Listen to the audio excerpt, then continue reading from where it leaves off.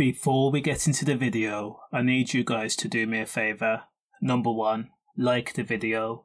Also comment, let me know your thoughts on the story. Now to be honest, I don't know whether I should applaud or just give a sigh.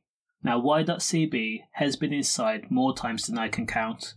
Now just for a moment, let's analyse the direction that Y.CB has taken in his life. He was a talented footballer, played for clubs like Watford at youth level, his brother Calvin Bassey also played football, and instead of sticking to what he was good at, he wanted to follow UK rapper CB and become a member of the Seventh. And for what?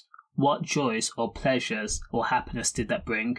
He stopped playing football and was also SHOT in the head. Then he was sentenced, and now he's come back out for the umpteenth time.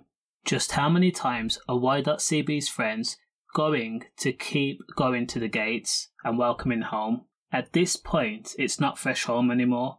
Every time he's released, it's just for visiting purpose, it seems. Now, why does Y.CB not like his freedom? It's such a waste of a talent and a life.